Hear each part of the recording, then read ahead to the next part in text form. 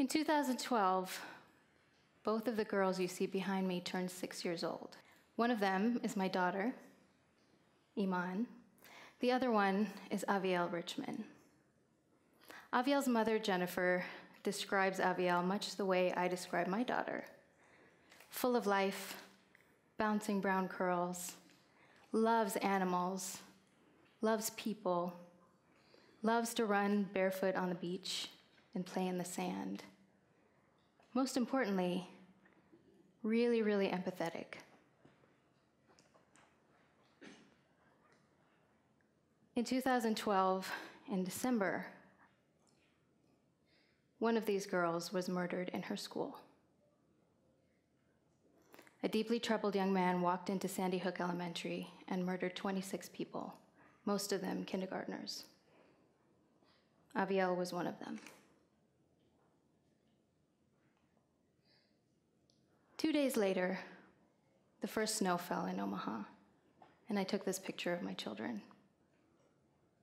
And all of a sudden, it occurred to me that in my life, I had become familiar with the feeling of terror. I had become familiar with the feeling of violence, but in my life. And now, for the first time, I had a feeling of terror for my children. You see, as a teacher and as a mother, I had double the fears now. As a teacher, when a student reached into their backpack once in a while or their pocket, I was afraid of what they would take out. And now, as a mother, every stranger on the street, every person in a school, every stranger in a mall gave me that same terror. My instinct was to gather my children under a blanket in my nest in my living room and never leave again. I thought if I can just keep them with me forever, we could be safe forever. But I knew that I had questions to answer. My children asked me why would somebody do that? Why would someone walk into a school and murder six year olds? I didn't have an answer for them.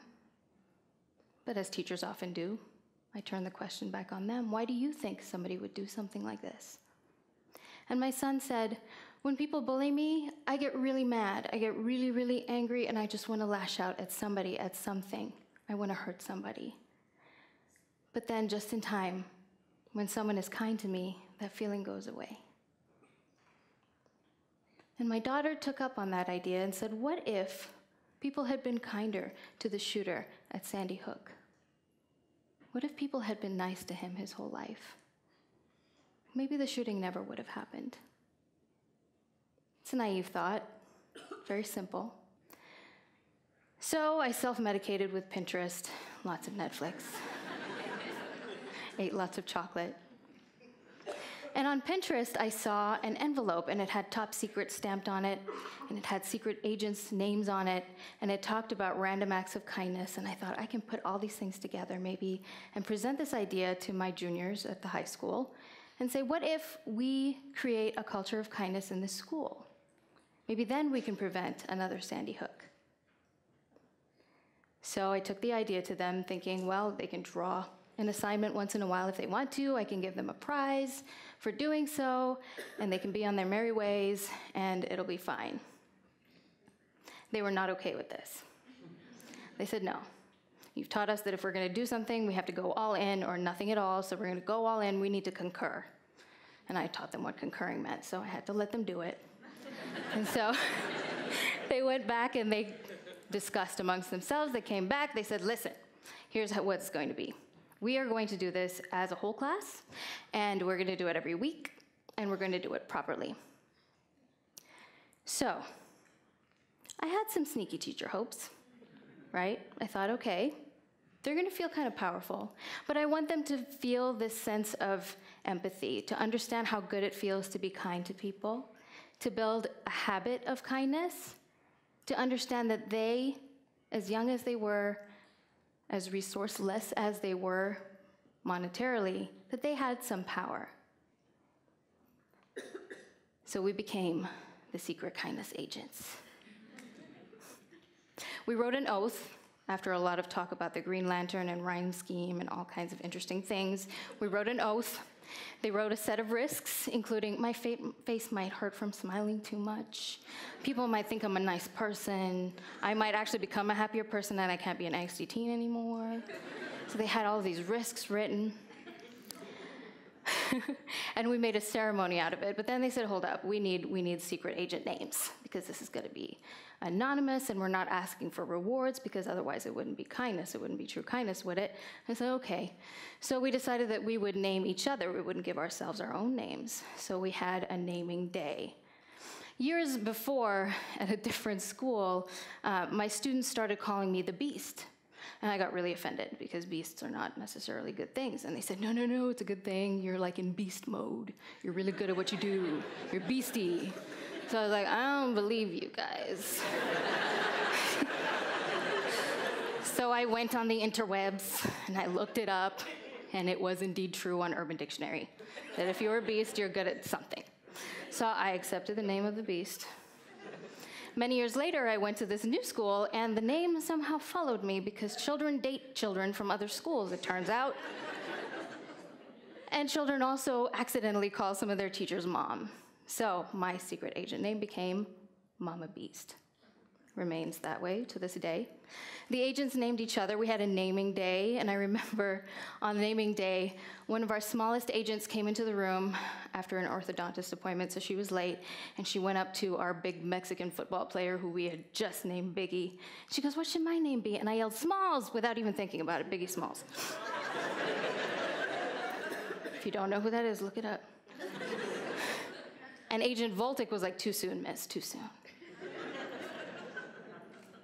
So we all had agent names, and we created a ceremony. And every week at the end of the week, I would play some cheesy, cheesy song like We Are the World. And they would come up really solemnly, and they would get one of the envelopes, and they would write down what their random act of kindness was for the week. And then we would recite the oath and the risks with whatever hand signal there was. I don't even know how many varieties we had. And then we would be on our merry way. You might be wondering what kinds of acts of kindness these were. I had two rules. One, they couldn't cost any money. My students came from very limited resources, some pretty difficult circumstances. So I didn't want them to spend any money, but also I wanted them to understand it doesn't take money to be kind. The other rule was that since we wanted to change the culture of the school, it had to take place within the confines of the school somehow. So the furthest they would go was the road. So we came up with a list of 21 things we could do because there were 21 of us, and I made 21 envelopes. And there were things like you have to smile at everybody you see for an entire week.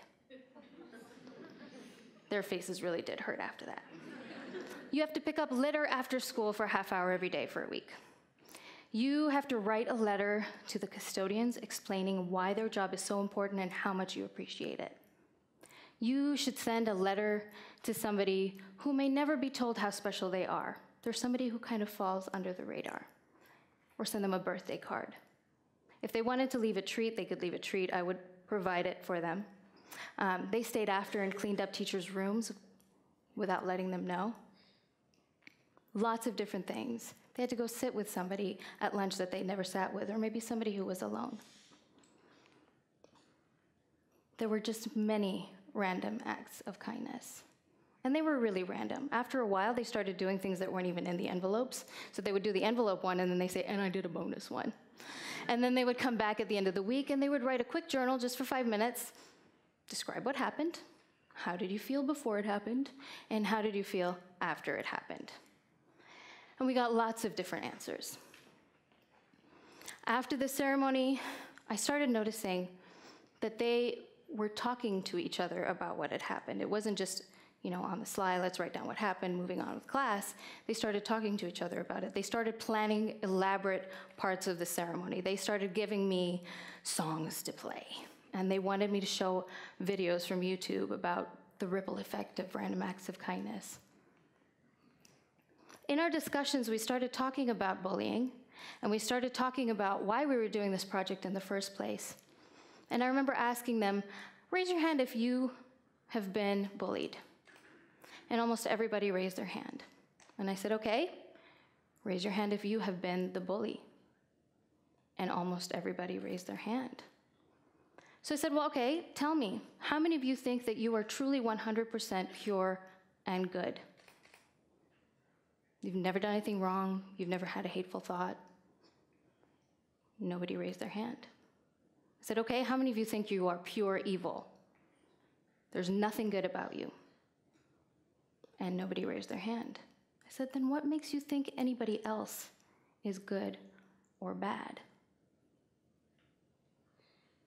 And I found a story, a Cherokee legend of a grandfather talking to his grandson. And he said, You know, grandson, inside me there are two wolves, and they are fighting each other constantly. One wolf is full of anger and jealousy and spite and greed. The other wolf is full of empathy and compassion and kindness and generosity. And they're always fighting each other.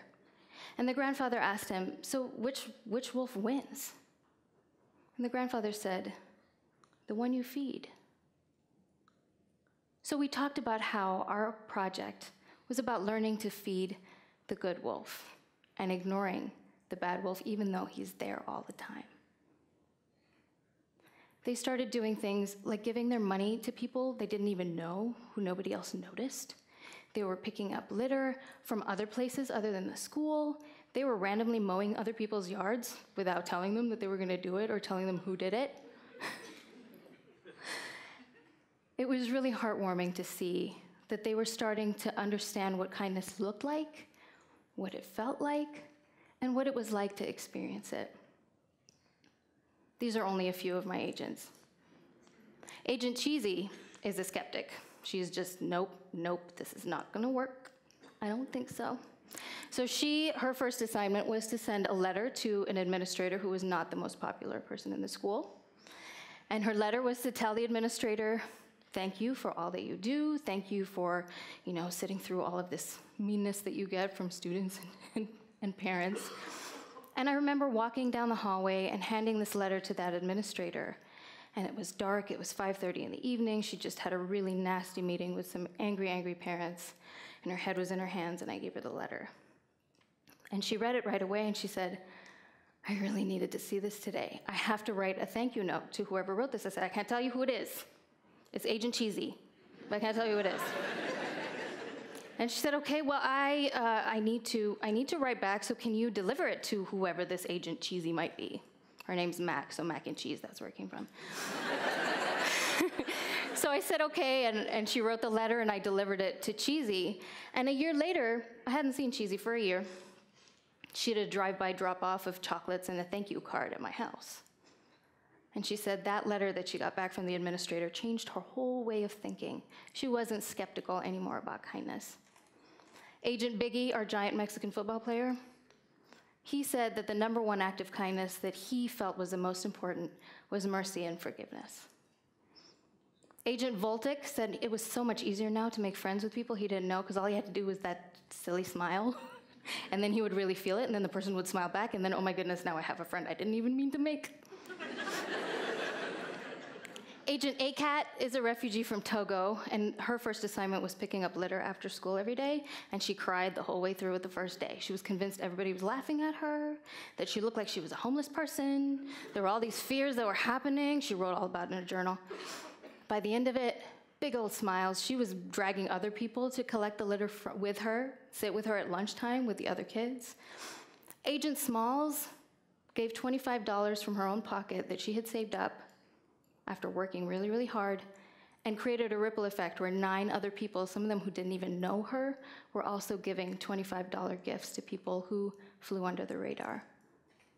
Agent Blaze said he just felt warm and fuzzy all the time now, just all the time, just warm and fuzzy. Agent Shy, one of our poets, she signed birthday cards with From the Voice You Haven't Heard and the Face You Haven't Seen. Agent Scrappy Doo was the only openly gay male in our school and had been bullied to the point where he, by the time he came to my class, had attempted suicide 14 times as a junior. His head was down and he was, he was beaten. By the end of this project, his head was held high, and he was just looking for opportunities to help people. I'm told he does this work now. He finds the most hated person and is just bound to win them over. It's his mission in life. And then all of a sudden, we became visible. I was on social media, as you know, this is my self medication. So I was on Facebook and I was writing about how proud I was of my students and writing about you know the progress I had seen them make and and how wonderful they were. Um, and Cindy Grady, a publisher, said, you know, if you do this as a how-to for other people, we'll publish it at no cost to you. I said, I got to ask the agents. Of course, the agent said yes. So she came to our class, and she helped us vote for if anybody were to buy this book, where the, the proceeds would go to. And the class almost overwhelmingly voted for the Juvenile Diabetes Research Foundation. One of our agents, Agent Tris Daug, had been he had been diagnosed with juvenile diabetes just a few months earlier, and his face, I'm sure, hurt really badly from smiling that day. It became a book. People had been messaging me asking, How do I do this project in my family, or in my youth group, or in my book club, or in my school? The book was out, and we started becoming really, really visible. And the school district bought 500 copies of the book for their entire staff. And the opening ceremony of the school, instead of hiring some famous person to come in and speak, um, had us come and had teachers from their own district who exemplified kindness come and speak as the keynote. Here's Agent Shy signing her PE teacher's book. Here's Agent Scrappy Doo signing books. Here's Agent Spirit signing books at a tea shop. We became a family. We became braver. We became more loving. We fed our good wolves. They couldn't wait to come to school. They couldn't wait to make somebody's day just by smiling at them. And now, when someone reaches into their pocket or their backpack, I find myself expecting something different to come out. And I no longer feel afraid to let my children out into the world. They too have become secret kindness agents. You see up there, Agent Chicken Hero. In Swahili, we say Askari Kuku. And Agent Kitty Hero. And I know that Avielle would feel safe letting her new sister out into the world, who's just weeks old today. And I hope that all of you have been inspired to become secret kindness agents and create teams of your own and feel safe and feed your good wolves. Thank you.